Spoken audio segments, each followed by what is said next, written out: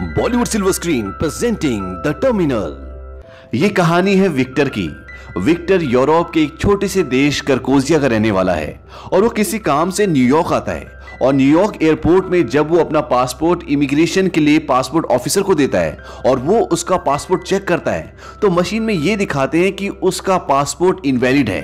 ये देखने के बाद वो ऑफिसर वहाँ की सिक्योरिटी टीम को बुला लेता है, जो विक्टर को पकड़ लेते हैं और अपने साथ ले जाते हैं। अब वहाँ पे जो सिक्योरिटी ऑफिसर होता है, वो विक्टर से काफ़ी सवाल पूछता है, लेकिन विक्टर को इंग्लिश नहीं आती। उसके अपने देश की एक अलग ही भाषा है, इसीलिए वो उसके किसी भी सवाल का जवाब नहीं दे पाता। और इस वजह से वो ऑफिसर विक्टर का पासपोर्ट और टिकट अपने पास रख लेता है। वहाँ पर एक और ऑफिसर होता है, जिसका नाम होता है फ्रैंक डिक्सन और डिक्सन एयरपोर्ट का कस्टम और बॉर्डर प्रोटेक्शन ऑफिसर है। और जब विक्टर को उसके पास ले जाते हैं तो वो विक्टर को बताता है कि उसके देश में सिविल वॉर शुरू हो चुका है। और जिसकी वजह से वहाँ की जो सरकार है, उसका तख्ता पलट गया है। और अब वहाँ से आने और जाने वाली सारी फ्लाइट्स रद्द हो चुकी हैं। और एक यही कारण है कि उसका ट्रेवलिंग वीज़ा रद्द हो चुका है और उसका पासपोर्ट इनवैलिड दिखा रहा है। विक्टर को इंग्लिश नहीं आती, इसलिए वो उनकी एक भी बात को समझ नहीं पाता। वो उसे समझाते हैं कि जब तक तुम्हारे देश में सिविल वॉर खत्म नहीं हो जाता, तब तक तुम ना अमेरिका की धरती पे कदम रख सकते हो, ना वापस अपने देश जा सकते हो। वो उसे खाने के लिए कुछ कूपन देते हैं, एक कॉलिंग कार्ड देते हैं, ताकि वो अपने घर में लोगों से बात कर सके और एक पेजर देते हैं और उसे एयरपोर्ट के लाउंज में छोड़ देते हैं। लेकिन विक्टर को अभी भी कुछ समझ नहीं आ रहा कि ये सब हो क्या रहा है। तभी उसे टीवी पे उसके देश का राष्ट्रगान सुनाई देता है और जब वो उस तरफ़ जाता है तो वो वहाँ टीवी में देखता है कि उसके देश के हालात बहुत खराब है। लेकिन ये न्यूज़ भी इंग्लिश में चल रही होती है, इसलिए उसे कुछ नहीं आता। वो वहाँ के लोगों से उसे समझाने के लिए बोलता है, लेकिन वहाँ के लोग उसकी भाषा नहीं समझते और वो उनकी भाषा नहीं समझता।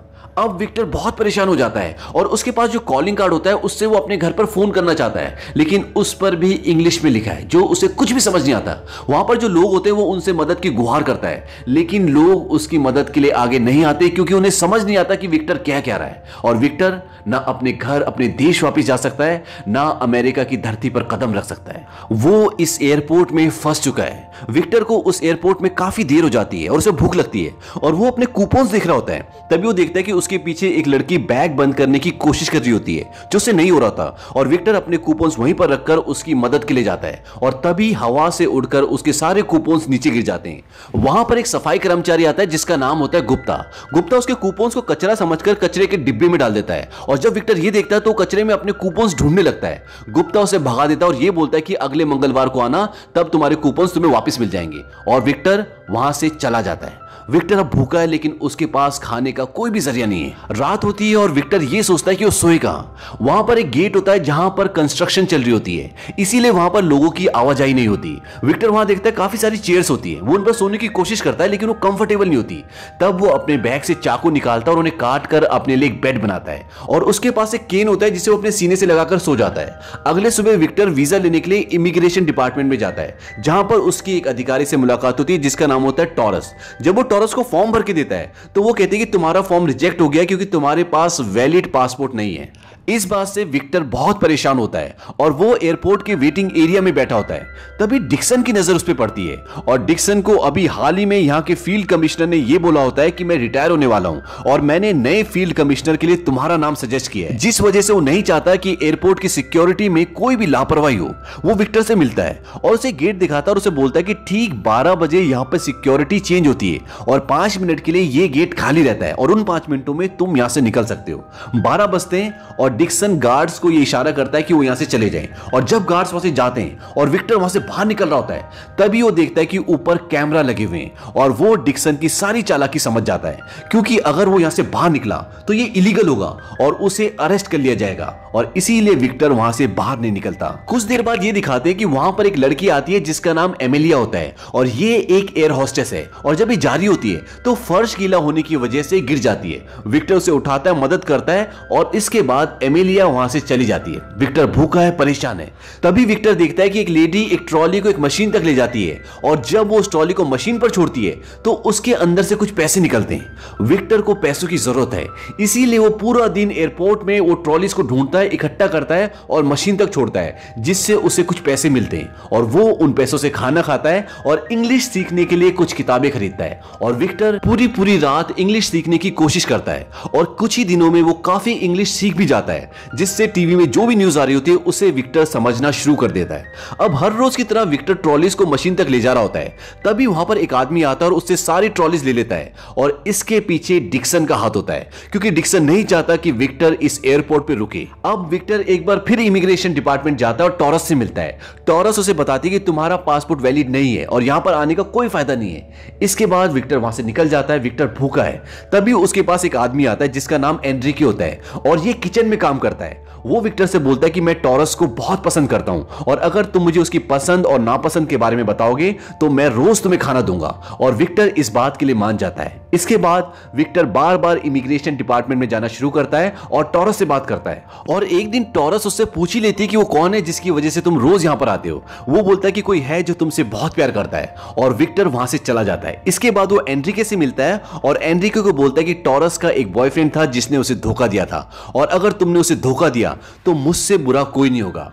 कुछ दिन बीतते हैं और विक्टर एक बार फिर एमिलिया को देखता है। एमिलिया वही लड़की जो एक बार फर्श पर गिरती है और विक्टर उसकी मदद करता है। वो देखता है कि एमिलिया फ़ोन पर किसी से लड़ रही होती है। दरअसल एमिलिया का एक शादीशुदा आदमी से अफेयर होता है, जो उसे बहुत टाइम से बेवकूफ़ बना रहा होता है कि मैं अपनी वाइफ को डाइवोर्स देके तुमसे शादी कर लूँगा। और एमिलिया रो रही होती है। विक्टर उसे अपना रुमाल देता है और उन दोनों की बातचीत शुरू होती है। बातों ही बातों में जब एमिलिया उससे पूछती है कि तुम क्या करते हो तो विक्टर बोलता है कि मैं बस एक बिल्डिंग से दूसरी बिल्डिंग में घूमता रहता हूँ। एमिलिया को लगता है कि ये कोई बिल्डिंग कॉन्ट्रैक्टर है। एमिलिया उसे डिनर के लिए इनवाइट भी करती है, लेकिन विक्टर मना कर देता है क्योंकि उसके पास पैसे नहीं होते। एमिलिया सोचती कि ये कोई अच्छा इंसान है, भला इंसान है, और वो उसे सॉरी बोलकर वहाँ से चली जाती है। और अब विक्टर ये सोचता है कि वो किसी तरह से भी पैसे कमाएगा और एमिलिया के साथ डिनर पे जाएगा। विक्टर अब एयरपोर्ट पर जितने भी शोरूम्स होते हैं, वहाँ पर काम मांगने के लिए जाता है। लेकिन उसे कोई भी काम नहीं देता क्योंकि उसके पास वैलिड पासपोर्ट नहीं होता। लेकिन फाइनली उसे एक पेंट करने का काम मिल जाता है। एक रात को एनरिके उसे अपने दोस्तों के साथ पार्टी करने के लिए बुलाता है और वहाँ पर गुप्ता होता है एनरिके होता है और एक और आदमी होता है। गुप्ता बोलता है कि मुझे लगता है कि ये कोई जासूस है और इसके बाद वो उसे सामान चेक करने वाली एक्सरे मशीन के अंदर डालते हैं। लेकिन उसके पास कुछ भी नहीं मिलता। उसके पास एक डिब्बा होता है और जब गुप्ता उससे पूछता है कि इस डिब्बे में क्या है वो बोलता है कि इसमें संगीत है और इस बात पर सब हँसते हैं और अब ये सारे के सारे दोस्त बन चुके हैं। हालाँकि विक्टर इस एयरपोर्ट पर फंस चुका है, लेकिन फिर भी वो यहाँ के माहौल को, यहाँ के वातावरण को एक्सेप्ट कर लेता है। और एक बार जब वो एक बुक स्टोर में किताब खरीदने के लिए जाता है तो उसकी मुलाकात एक बार फिर से एमिलिया से होती है। एमिलिया वहाँ पर कुछ किताबें खरीद रही होती है, और उसके हाथ में एक नेपोलियन की किताब होती है, और एमिलिया उसे बताती है कि उसे हिस्ट्री पढ़ना बहुत पसंद है। अब बातों ही बातों में एमिलिया उससे एक बार फिर से लंच के बारे में पूछती है, और विक्टर हाँ बोल देता है। तभी एमिलिया का पेजर बसता है और एमिलिया वहाँ से चली जाती है, और इस बार पहली बार विक्टर को ऐसा लगता है कि उसे एमिलिया से प्यार हो चुका है। अब विक्टर को यहाँ पर कुछ महीने हो चुके हैं। एक दिन वहाँ पर एक केस होता है कि एक आदमी बिना मेडिकल लाइसेंस के दवाइयाँ यहाँ से अपने देश में ले जा रहा होता है और जब कस्टम वाले उसकी दवाई उससे छीन लेते हैं तो वो खुदकुशी करने की कोशिश करता है और तब विक्टर को वहाँ पर बुलाया जाता है, क्योंकि वो आदमी विक्टर के पड़ोस वाले मुल्क का आदमी होता है, और वो आदमी भी इंग्लिश नहीं जानता। इसीलिए विक्टर को वहाँ पर बुलाया जाता है कि उसकी भाषा को समझ सके। और जब विक्टर वहाँ पर पहुँचता है तो वो आदमी विक्टर को बताता है कि ये दवाई उसके पिता के लिए, उसके पिता बीमार है। अगर ये दवाइयाँ वहाँ नहीं पहुँची तो वो मर जाएँगी। और जब विक्टर ये बातें डिक्सन को बताता है तो डिक्सन साफ़ साफ़ मना कर देता है, क्योंकि वो बोलता है कि बिना मेडिकल लाइसेंस के यहाँ से दवाई अपने देश में कोई नहीं ले जा सकता। हालाँकि वो आदमी डिक्सन के आगे गिड़गिड़ाता, उसके हाथ जोड़ता है, लेकिन डिक्सन उसकी एक बात भी नहीं सुनता और उसे अरेस्ट कर लेता है। और अब विक्टर को यह लगता है कि इस इंसान के साथ ना इंसाफी हो रही है। और वो डिक्सन को यह बोलता है कि ये आदमी ये दवाइयाँ अपनी बकरी के लिए ले जा रहा है। और ऐसा ही वो उस आदमी को भी बोलता है जो दवाइयाँ ले जा रहा होता है कि ये बोल दो कि ये दवाइयाँ मेरी बकरी के लिए। और वो आदमी ऐसे ही कहता है। और इस वजह से डिक्सन को उसे छोड़ना पड़ता है। क्योंकि अमेरिका का ये रूल होता है कि आप जानवरों की दवा एक देश से दूसरे देश लेकर जा सकते हो। और इस बात से डिक्सन को विक्टर पे बहुत गुस्सा आता है। वो उसे गर्दन से पकड़ता है और एक साइड में ले जाता है और बोलता है कि मैं तुम्हें जेल भिजवा दूँगा। दूँगा। और तभी वहाँ पर फ़ील्ड कमिश्नर आ जाता है। इस बात से डिक्सन को बहुत शर्मिंदगी होती है और वो विक्टर को छोड़ देता है। फ़ील्ड कमिश्नर डिक्सन को यह भी बोलते हैं कि तुम्हें अपने गुस्से पे काबू रखना चाहिए और विक्टर से कुछ सीखना चाहिए। इस बात से डिक्सन को अंदर ही अंदर बहुत गुस्सा आता है। वहीं दूसरी तरफ़ ये दिखाते हैं कि पूरे एयरपोर्ट में ये बात फैल जाती है कि किस तरह से विक्टर ने एक आदमी की मदद की। और अब सबकी नज़रों में विक्टर के लिए एक मान और सम्मान है। अब विक्टर और उसके दोस्त चोरी से यह पता लगा लेते हैं कि एमिलिया इस एयरपोर्ट पे तीन हफ़्ते बाद आएगी और वो उससे मिलने की पूरी तैयारी कर लेता है और तीन हफ़्ते बाद विक्टर और गुप्ता उसका इंतज़ार कर रहे होते हैं। तभी बातों बातों में विक्टर गुप्ता की ज़िंदगी के बारे में पूछता है तो गुप्ता उसे बताता है कि मद्रास में उसकी दुकान थी, जहाँ पर एक पुलिस वाला उसे तंग करता था और जिसकी वजह से उसके हाथों से उसका खून हो गया और इसी वजह से उसको अपना परिवार छोड़कर यहाँ पर आना पड़ा। विक्टर उससे पूछता है कि यहाँ की सरकार ने तुम्हें वापस नहीं भेजा। गुप्ता बोलता है कि जब तक मैं अपना काम अच्छे से कर रहा हूँ, यहाँ की सरकार मुझे वापस नहीं भेजेगी। इसके बाद एमिलिया उस एयरपोर्ट पे आ जाती है। अब वहाँ पर जितना भी स्टाफ है, सब के सब विक्टर के दोस्त हैं। तो वो अमीलिया का रास्ता चारों तरफ़ से रोक देते हैं ताकि वो उस जगह पर पहुँच जाए जहाँ पर विक्टर है। और अमीलिया उस जगह पर पहुँच जाती है। वो दोनों मिलते हैं और विक्टर उसे डिनर के लिए इन्वाइट करता है। और डिनर के दौरान वहाँ पर उसके जितने भी दोस्त होते हैं, गुप्ता, एनरिके और इसके अलावा जो भी होते हैं, वो सब के सब उसकी डेट को खास बनाने के लिए उसकी बहुत मदद करते हैं। इस डेट में ये दोनों बहुत बातें करते हैं और एक दूसरे के काफ़ी करीब आ जाते हैं। इन दोनों के बीच में एक अपनापन क्रिएट हो जाता है। और एमिलिया से अलग होने से पहले विक्टर उससे पूछता है कि तुम अगली बार कब आओगी? वो बोलती है कि तेरह दिन बाद। विक्टर बोलता है कि तुम्हें पता है नेपोलियन ने अपनी बीवी को तोहफे में क्या दिया था? वो कहती, नहीं, वो उससे पूछती है, लेकिन वो बताता नहीं है। वो कहता है कि हम तेरह दिन बाद मिलेंगे और एमिलिया वहाँ से चली जाती है। लेकिन इन दोनों की नजदीकों के बारे में डिक्सन को पता चल जाता है, क्योंकि वो इन दोनों को सीसीटीवी कैमरे में देख लेता है। अब इन्हीं तेरह दिनों के अंदर विक्टर की वजह से टॉरस की और एनरिके की शादी हो जाती है। वो बहुत खुश होते हैं। तेरह दिन बीतते हैं और एमिलिया एक बार फिर उसी एयरपोर्ट पे आती है। और विक्टर से मिलने से पहले डिक्सन उसे अपने पास बुला लेता है और उसे बताता है कि विक्टर कोई बिल्डिंग कॉन्ट्रैक्टर नहीं है, बल्कि पिछले नौ महीनों से ये गेट नंबर 67 पे रहता है और इसके पास एक ऐसा केन है, जिसकी वजह से हमें इसके ऊपर शक भी है। ये सब सुनने के बाद एमिलिया को बहुत दुख होता है और वो गेट नंबर 67 पर जाती है, जहाँ पर विक्टर उसका इंतज़ार कर रहा होता है। वो बोलती कि तुमने मुझे धोखा दिया है और मैंने आज तुम्हारे लिए उस आदमी को छोड़ दिया जिसके साथ में रिलेशन में थी और वो सारी बातें भी उसे बताती जो उसे डिक्सन ने बताई होती है। तब वो उसे अपना केन खोलकर दिखाता है। उसके अंदर एक फ़ोटो होती है जिसमें सत्तावन जैज संगीतकार एक साथ होते हैं। विक्टर बोलता है कि मेरे पिता ने ये तस्वीर एक अखबार में देखी थी और वो एक बहुत बड़े जैज प्रेमी थे। इसीलिए वो सबके ऑटोग्राफ लेना चाहते थे और उन्होंने एक एक करके सबको लेटर भेजा। और 40 साल के अंदर उन्हें छप्पन संगीतकारों के ऑटोग्राफ मिल गए। पर एक जिनका नाम बेनी गोल्सन है, उनके साइन मिलने से पहले उनकी मृत्यु हो गई।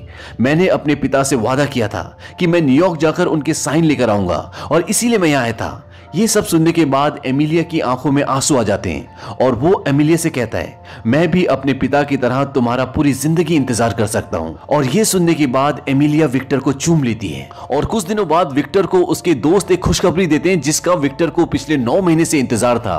उसके दोस्त उसे बताते हैं कि तुम्हारे देश में जंग खत्म हो चुकी है और अब तुम घर वापस जा सकते हो और वो इस बात का जश्न मनाते हैं और वहाँ पर एमिलिया भी आती है और वो उसे बताती है कि मैंने तुम्हारे लिए एक दिन का वीज़ा बना लिया है। जिससे तुम न्यूयॉर्क जा सकते हो और उस आदमी के साइन ले सकते हो जिसके लिए तुम यहाँ पर आए थे। इस बात से विक्टर बहुत खुश हो जाता है। विक्टर एमिलिया से बोलता है कि तुम भी मेरे साथ चलना, लेकिन एमिलिया कुछ नहीं बोलती।